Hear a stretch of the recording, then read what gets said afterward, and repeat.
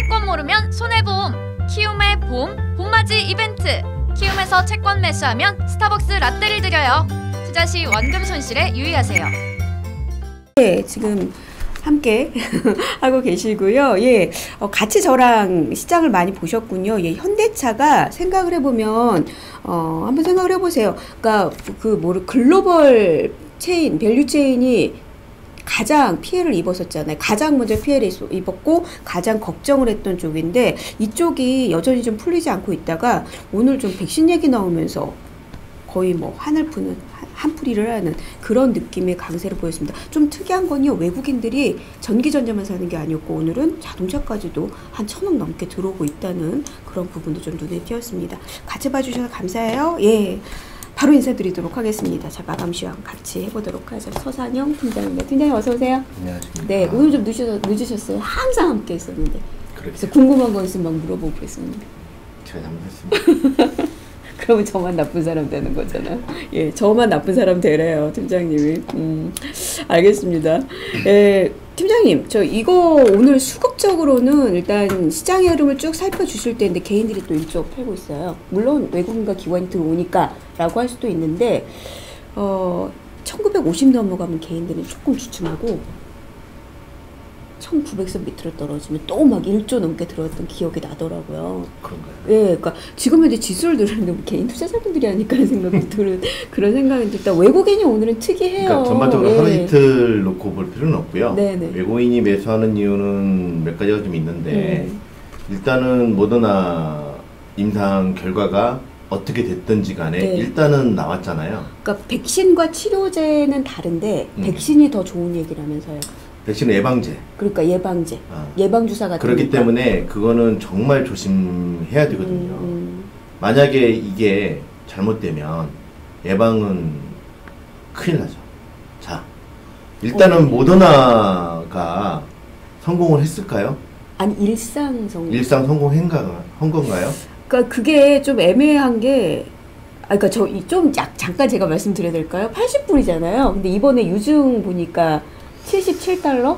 어, 성급하게 좀 얘기해서 이게 그러니까 자꾸 일단은 생각이 돼. 일단은 모더나가 네네. 일단 뭐 국립보건원 쪽에서 미국의 국립보건원에서 돈을 받아가지고 임상을 계속 하고 있었어요. 네네. 근데 임상이라는 거는 일상 같은 경우는 건강한 건강체에 대해서 먼저 주사약을 놓고 거기서 항체가 생기는지를 이제 보는 거거든요. 예. 일단 항체가 다 생겼죠. 그쵸. 예. 생겼죠. 근데 이제 바이러스를 죽이는 그 뭐냐 중화항체 같은 아 경우는 중화항체. 예. 8명밖에 안 생겼어요. 그러니까 그중 총 몇 명? 45명. 그 중에서 10%도 안 된 건가? 네. 아니, 10%좀 20%, 20%. 정도 된 거죠. 네. 예. 성공한 걸까요? 그렇기 때문에 시장에서는 그 논란이 좀 있어요. 이게 그렇기 때문에 모더나가 전체적으로 게임 체인저가 됐다라고 할 수가 없는 이유가 이게 전체적으로 뭐 이걸로 인해서 이제 백신이 조만간에 나오고 이게 그건 기대일 뿐이지 이게 전체적으로 시장을 변화할 만한 요인은 아니라는 음, 거죠. 아, 그게- 그럼에도 불구하고 시장은 왜 반응을 했느냐? 어제 일요일 날 파월 연유로장이 그 얘기를 했죠. 경기 회복이 1년 이상 걸릴 거다. 음, 경기 회복 지연이 좀 더 이어질 것이고 또 하나는 2차 팬데믹이 오지만 않으면 그게 전제 조건이고 그럼 4분기에 회복된다. 그 다음에 연말 정도부터는 이제 본격적으로 좀 음, 개선이 음, 된다라고 네. 언급을 했어요. 네. 그러면서 또 하나의 전제 조건은 백신이 나온다면. 음. 근데 이제 그것 때문에 이제 모더나가 이제 발표를 했잖아요. 어, 모더나가 백신을 발표를 했네? 이렇게 그러면서 생각해요. 어제 그 그동안 언택 음. 관련된 종목들은 그 조정을 보이거나 네. 일부 상승이 제한된 반면에 그 코로나로 인해서 피해를 봤던 항공, 여행 대부분의 음. 그다음에 산업재 이게 경기가 돌아가니까 음. 이런 거 때문에 이제 급등을 했다고 보시면 돼요. 자 그러면 일단은 지난번에 길리어드 사이언스의 치료제 임상 결과라든지 네. 이번에 모더나의 그 백신 임상 결과라든지 이게 뭐 전체적으로 뭐 됐다 안 됐다 이건 중요한 건 아니고 일단은 진전이 있는 거잖아요. 그쵸. 진전이 있는, 거죠. 거고 예. 그렇게 돼버리면 경기에 대한 자신감들이 좀 있기 때문에 외국인은 오늘 살 수밖에 없었어요.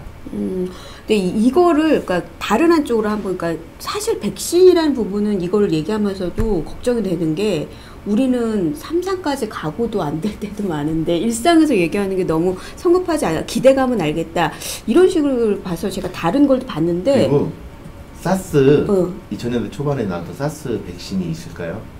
사스 백신 아직 없는 거 아니에요? 없어요. 예. 이게 시- 이 백신이라는 거는 좀 최장 기간에 걸쳐서 좀 하나둘씩 하거든요. 네, 사스는 그 독감 치료제가 음, 그게 그 신종플루 같은 예, 경우는 예. 이제 뭐 타미 그 타미플루가 타미플루, 있고 예. 근데 그거는 다른 용도이기 때문에 음. 원래 다른 용도로 그 있었는데 이게 보다 보니까 어 신종플루에 잘 듣네 네, 이렇게 해서 이제 그게 드는 거예요. 음. 물론 이제 부작용도 좀 있고요. 음. 그러면서 이제 그런 것들이 있는데 사스라든지 뭐 이런 여러 가지 것들은 백신이 없다. 백신이 없어요. 음. 치료제 같은 경우나 이런 것들은 좀. 그럼 자, 이거 그러면 예, 예. 코로나 같은 경우도 백신이 그래서 어려워요. 치료제야 금방 금방 나오는 거고, 그 다음에 이제 백신 같은 경우는 예방 역할을 하기 때문에 어, 되게 조심스러워 하는 건데, 트럼프 입장에서는 이거를 빨리빨리 해야 되거든요. 왜 그러냐면 대선 때문에.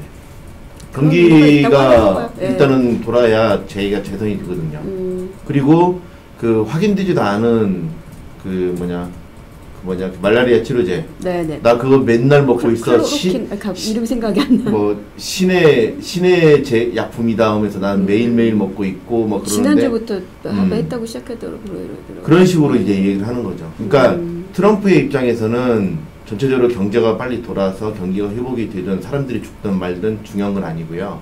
죽는 거는 중국 탓, 그다음에 경제가 돌아가는 건 내 탓, 예, 내 덕분. 뭐 이걸 가지고 이제 대선에 예, 정치인들이 그래서 음. 누굴 뽑냐에 따라서 정말 무서운 거예요. 그러니까 지금 현재로서는 어쨌든 모든 전제 조건이 백신이 나오면 하반기부터는 경기가 돌아설 거 이런 식으로 조건이 되니까 백신에 대한 얘기를 지금 현재 정치 당- 쪽에서는 계속 할 수밖에 없다. 그렇죠. 이제 긍정적으로 받아들일 수밖에 없어요. 예. 음. 그리고 시장에서도 그와 관련돼 가지고 일단은 뭐든지 간에 그런 지난번에도 길리어드 사이언스 렘데시비르 관련된 임상 결과도 나왔지만 계속 그런 식으로 나오잖아요. 음. 그러다 보니까 시장에서는 계속 기대감은 있는 거죠. 그럼 결국은 렘데시비르가 잘 안 되고 좀 안 좋은 얘기가 나오면 다른 백신 얘기 나오고 다른 백신 이런 식으로 얘기가 될 가능성도 있겠네요.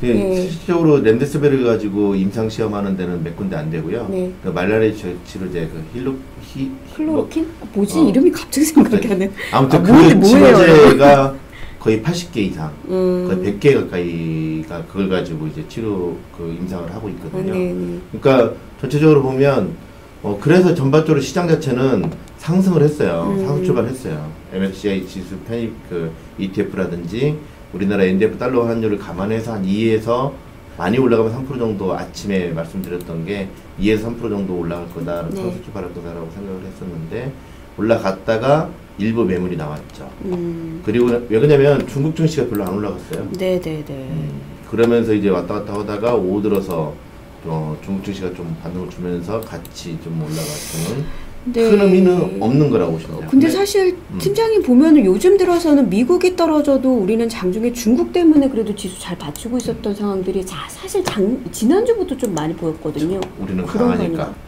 그냥 포, 그러니까 좋은 쪽만 보는 거예요. 네.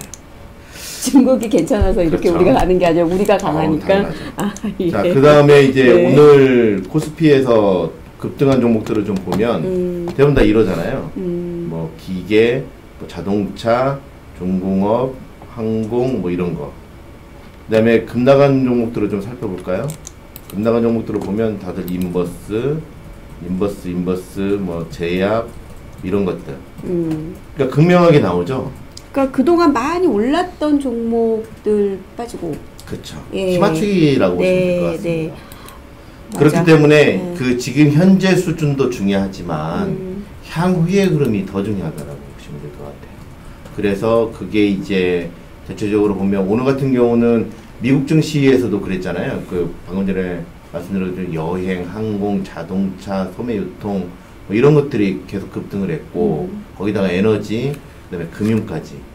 대신에 이제 넷플릭스라든지 뭐 이런 준비디오 같이 그동안 언택의 수혜를. 수혜를 받았다. 걔네들 같은 경우는 하락을 했고 준비디오는 거의 한 6% 가까이 급락을 했거든요.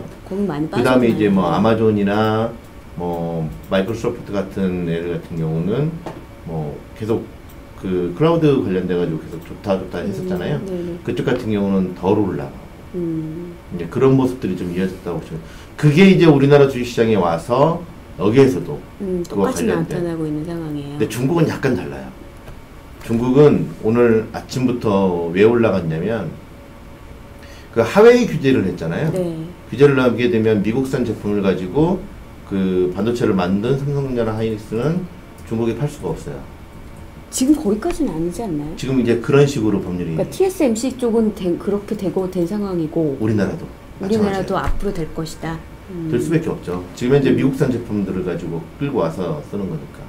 자, 그렇게 되면 어떻게 될까? 중국에서는 그래서 중국은 어떤 종목들이 치고 올라가고 있냐면요. 반도체. 그러니까 국산화되는 반도체. 그렇죠. 예. 국산화율이 상당히 높아질 수가 있고 대규모 자금 투입이 정부에서 음. 적극적으로 진행을 할 것이다라는 소식들이 나오면서 그와 관련된 종목들이 좀 치고 있거든요. 그러니까 화웨이 제품 안에 미국산이나 뭐 일본산이나 우리나라 말고 자기네 거 들어갈 거니까 음, 음, 뭐, 뭐 질에 대한 이야기는 할 거 없이 음. 그냥. 그렇죠. 음. 이제 뭐 그런 것들 때문에 또 그 관련된 종목들이 올라가기 때문에 요거는 좀 우리랑 우리하고 좀 약간 예, 차별화되어 거리가 있고요. 있네요. 그 다음에 우리는 이제 음식료나 이런 것들이 많이 밀리고 있잖아요. 네네. 아, 많이 근데 그쪽은 이제 그쪽이 또 올라가고 있고 음, 어, 그런 식으로 약간 차별화는 차별화는 좀 보이고는 있다라고 보시면 될 것 같아요.